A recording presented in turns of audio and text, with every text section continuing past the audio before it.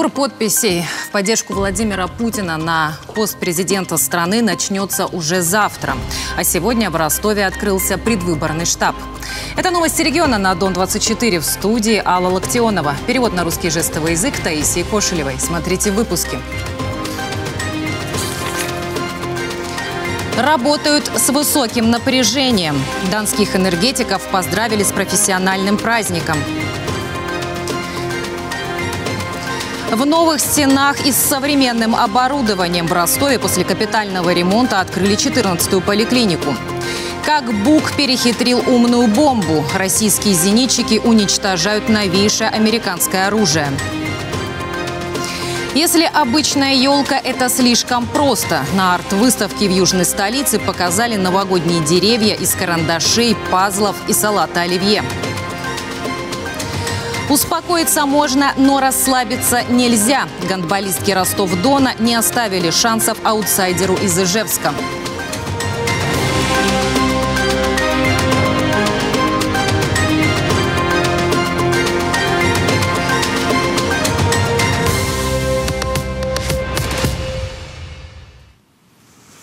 Региональный предвыборный штаб кандидатов в президенты Владимира Путина открылся в Ростове-на-Дону. В него вошли общественные деятели, юристы, участники спецоперации и волонтеры. Руководителем аппарата штаба стал директор Южно-Российского института управления Василий Рудой. Владимир Владимирович пользуется огромнейшим доверием среди подавляющего большинства жителей Ростовской области, поэтому э, никаких сомнений в его победе мы не испытываем. В штабе отметили, работа по сбору подписей в пользу действующего главы государства начнется уже завтра. Помогут организовать процедуру активисты и волонтеры, которые уже прошли подготовку. Уверен, э, что жители Дона и казаки проголосуют за нашего кандидата. А молодежь сегодня вообще обладает такими, таким огромным количеством возможностей. А, и молодежь, конечно, поддержит нашего сильного лидера, лидера, который объединяет сегодня большое количество людей. Напомним, Владимир Путин подал документы в избирательную комиссию в качестве самовыдвиженца. А это значит, что ему необходимо собрать около 300 тысяч подписей избирателей со всей страны. В Ростовской области кандидату нужно заручиться поддержкой минимум 7500 дончан. Пункты сбора подписей будут открыты по всему региону, в самых посещаемых местах, а также в отделении регионального штаба Общероссийского народного фронта. И сегодня свой профессиональный праздник отмечают работники энергетической отрасли, те, кто занимается производством и передачей тепло- и электроэнергии. Значимости событию добавляют и недавние события, когда непогода в регионе стала настоящим испытанием для энергетиков. С церемонией поздравления Виктория Слепченко. Благодаря им в наших домах есть тепло, свет и связь. Юрий Залеский из династии энергетиков вспоминает, как совсем недавно непогода устроила урок на проверку профессионализма. Вместе с командой справились на отлично и сохранили тепло в домах. К сожалению, второй гололед в моей жизни. И так же, как и первый раз, это 2005 год был, наши коллеги показали э, наивысшую сплоченность, профессионализм колоссальнейший. Э, в общем-то, как было сказано, что в короткие сроки мы восстановили, э, восстановили электроснабжение Ростовской области. Бесперебойная подача электроэнергии – одна из главных задач специалистов этой сферы. Заслуги энергетиков отмечают в торжественной обстановке. Более 50 специалистов удостоены ведомственных, отраслевых и корпоративных наград. Этот год, он был непростой, точно так же, как и для всей нашей страны, нашей любимой Родины – в этот год мы работали в период проведения специальной военной операции и выполняли те задачи, которые перед нами ставил регион, которые ставило руководство Россетей, Поздравил с профессиональным праздником всех и министр промышленности и энергетики региона Андрей Савельев. У нас сегодня энергетическое хозяйство развивается. Донские энергетики в рамках своих инвестпрограмм осуществляют техперевооружение, приобретают современное высокотехнологичное оборудование, отечественное оборудование, внедряют энергосберегающие технологии, проводят цифровизацию процессов. Сейчас Россия занимает четвертое место в мире по объему генерации электроэнергии и по экспорту электроэнергии за рубеж. И немалую роль в этом играет Ростовская область. Виктория Слепченко, Алексей Покатила, Дон-24, Ростов-на-Дону. К другим темам. На смену унылому интерьеру и устаревшему оборудованию пришел свежий ремонт и современные аппараты.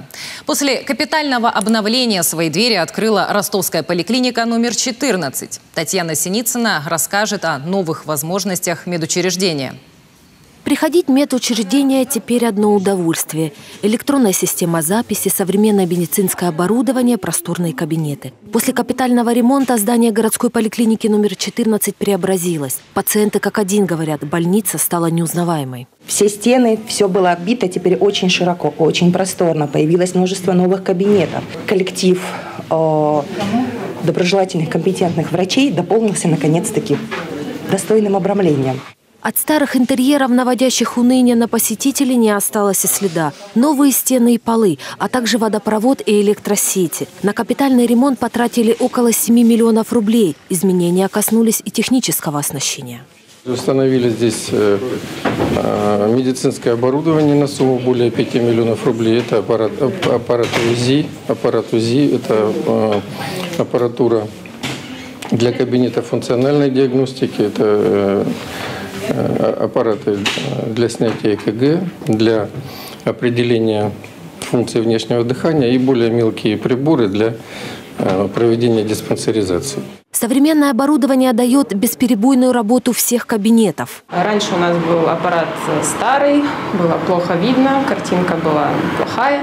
Но сейчас мы можем обследовать пациентов, э, большой поток проходит каждый день. Глобальные перемены в поликлинике состоялись благодаря реализации нацпроекта здравоохранения. Ставка сделана на повышение уровня работы всего персонала. Естественно, если есть новое медицинское оборудование, то повышается у нас качество диагностики. А от качества диагностики уже зависит правильная постановка диагноза, ну и назначенное лечение. Естественно, здесь появились, э, повысились возможности проведения профилактических осмотров, диспансеризации. Кстати, эта городская поликлиника обслуживает около 14 тысяч человек. Татьяна Синицына, Владимир Галуцкий, Дон-24, Ростов-на-Дону. Сразу две госнаграды получил Таганрожец за свой подвиг. Орден мужества и медаль за отвагу вручил ему заместитель губернатора Ростовской области Вадим Артемов. Младшего сержанта Павла Лазарева мобилизовали в сентябре прошлого года. А уже через месяц, находя в зоне проведения специальной военной операции, Павел совершил подвиг при взятии Маринки в Донецкой Народной Республике. Вошло наступление, мы попали в засаду. Мы начали с казаком пытаться их оттуда выбить с дома. Их поддерживал миномет и АГС.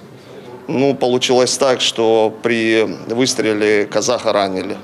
Но мы поняли, что ну, мы не продавим их, и пришлось отступать. Когда отходили, получил э, в пятку снаряд. Случай уникальный. Э, государственных наград две. Это орден мужества и медаль за отвагу. Э, не так много у нас военнослужащих, которые э, награждались одновременно двумя государственными наградами за э, подвиг и мужество, которое совершали в ходе специальной военной операции.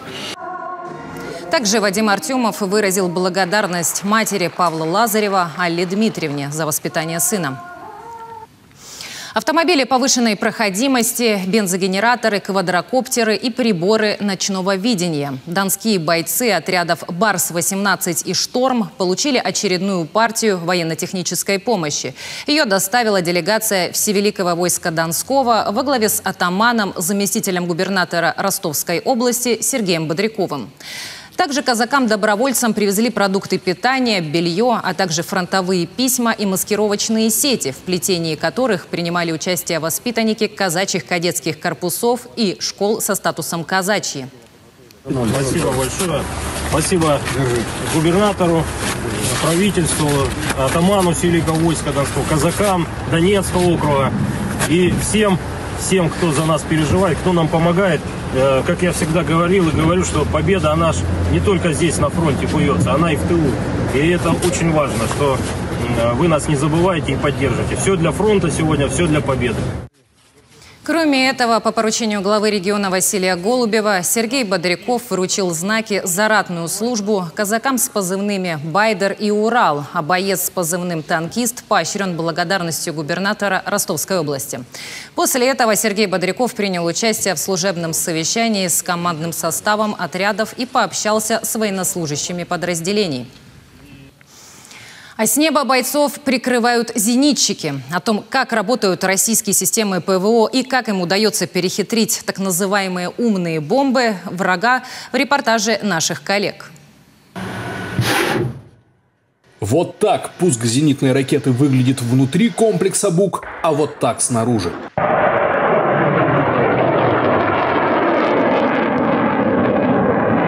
Расчет комплекса противовоздушной обороны сначала даже не понял, что именно сбили в этот раз. Отметка на экране радара меньше, чем у Хаймерса, маневрирует из стороны в сторону. Оказалась новейшая американская разработка – планирующая умная бомба GL-SDB. Изначально ее скорость была 550 метров в секунду, высота 15, как у Хаймерса.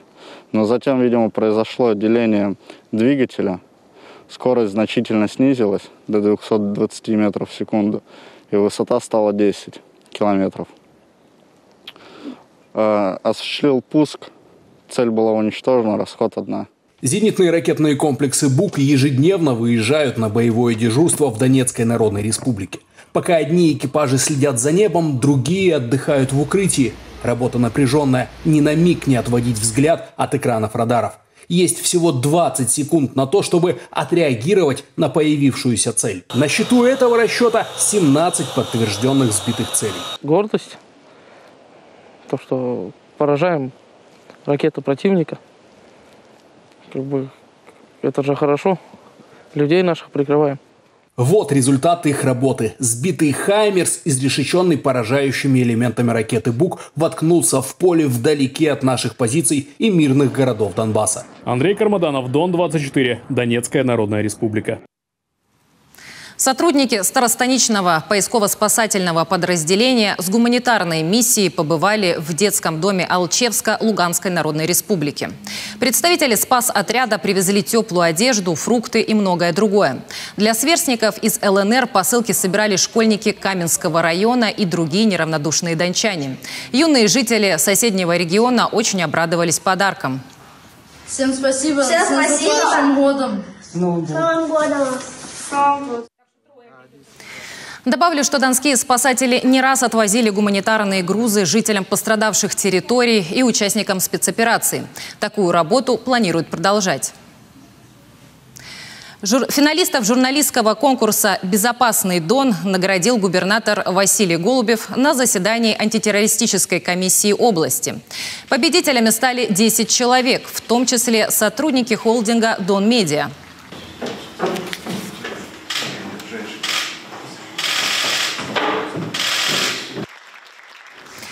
Безопасный Дон проводится Министерством региональной политики и массовых коммуникаций региона уже в шестой раз. Цель конкурса – сформировать у людей неприятие экстремистской идеологии и терроризма. И этому противопоставляются добро и свет, которые есть в том числе и в религиях. И вот как раз мой сюжет посвящен конфессиям, которые у нас существуют на Дону. А мы работали над этим материалом несколько дней, разговаривали с разными священнослужителями, были во многих религиозных учреждениях. И отовсюду мы выходили с таким светлым чувством умиротворения, которое, я надеюсь, удалось передать через экран. В творческом состязании также принимали участие журналисты электронных и печатных СМИ области. В этом году от них поступило 267 материалов. Рекордное количество за всю историю конкурса. Вы смотрите новости на Дон-24. И вот о чем еще расскажем далее.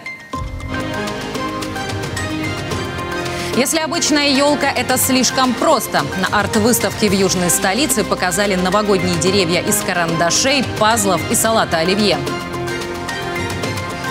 О чем мечтают бабушки, бандиты и миллионеры? В новом спектакле молодежного театра у героев сбываются все желания. Успокоиться можно, но расслабляться нельзя. Гонболистки Ростов-Дона не оставили шансов аутсайдеру из Ижевска.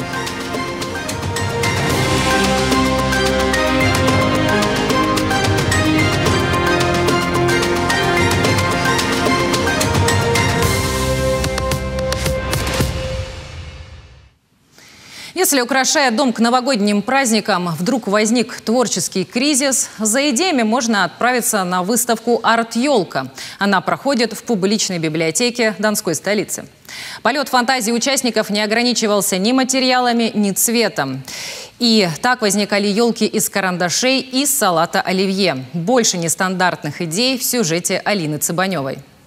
Зимой и летом одним цветом. Ответ прост. Это что угодно, но не ель. На выставке-конкурсе «Арт-елка» новогодние деревья были и белые, и розовые, и даже разноцветные. Мероприятие проводится с 2006 года и стало доброй новогодней традицией. Посетители смогли увидеть не только дизайнерские елки, но и другие символы праздника. Игрушки, карнавальные маски, открытки, а также анимационные ролики. Некоторые работы посвящены важным сейчас темам. Например, у нас есть елка, которая посвящена специальной военной операции, чтобы могли поздравить бойцов СВО. Да? А есть у нас э, елка, которая выполнена из пластика. Это экологическая тематика, да, вторая жизнь отживших материалов. Авторы проявили безграничную фантазию. Елка из карандашей, из пазлов, елка с конфетами и даже елка с портретами династии Романовых. А делали их без преувеличения от мала до велика. Оригинально и интересно. Очень интересное и необычное первый раз у нас такое решение, когда вот так вот елка,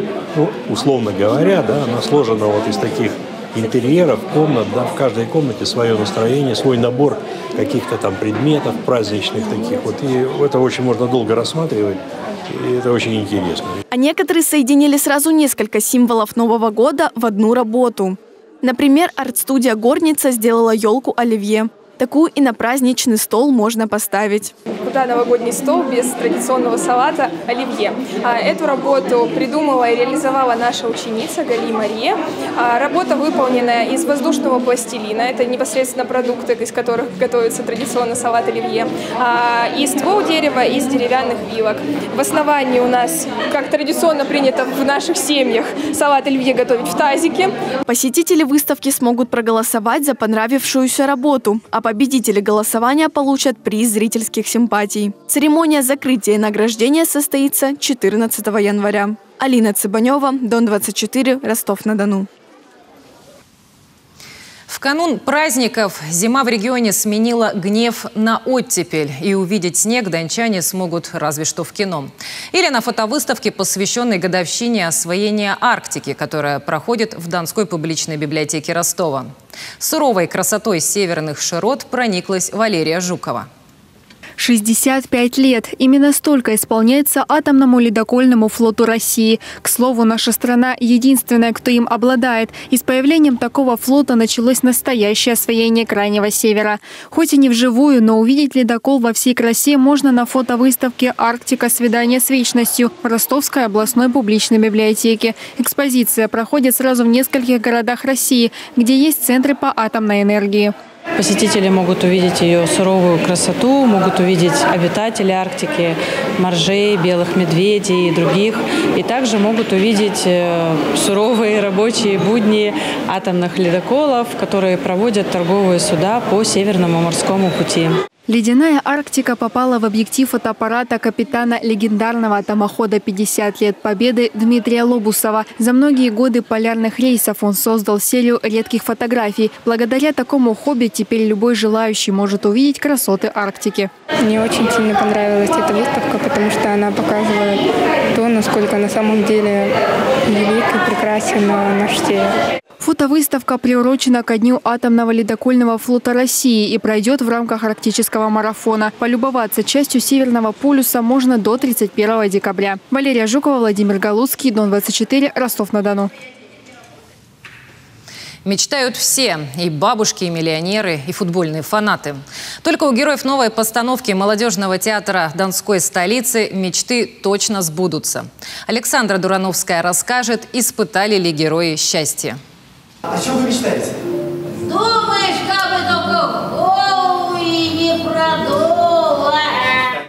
Один взмах, и это уже не старушки-славочки, а молодые рокерши, которым что ветер, что громкая музыка, только в удовольствие.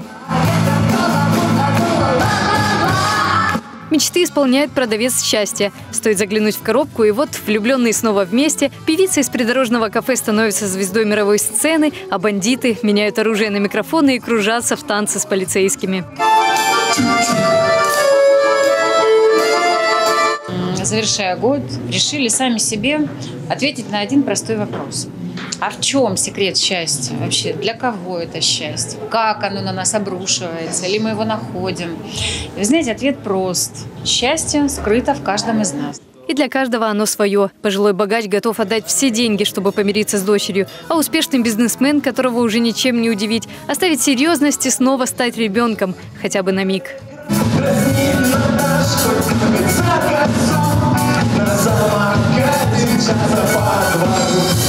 22 истории, 22 героя с разными судьбами. И, конечно, песни у каждого своя.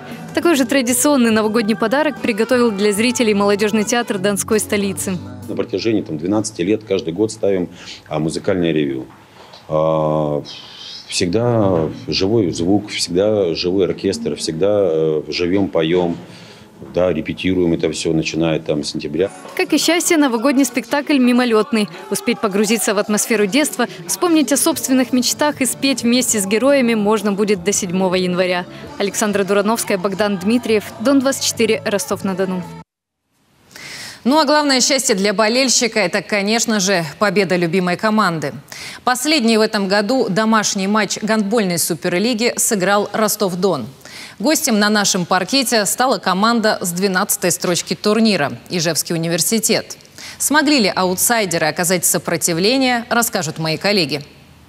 Турнирная разница между лидером Суперлиги Ростов-Доном и аутсайдером чемпионата университетом была видна и на площадке. За первые 10 минут хозяйки паркета огорчили кипера гостей 10 раз, в то время как ижевская команда отличилась лишь дважды. Они не только не могли пройти нашу оборону, но и раз за разом получали в ответ молниеносные контратаки. Да и вступавшие в игру ростовские вратари стояли стеной.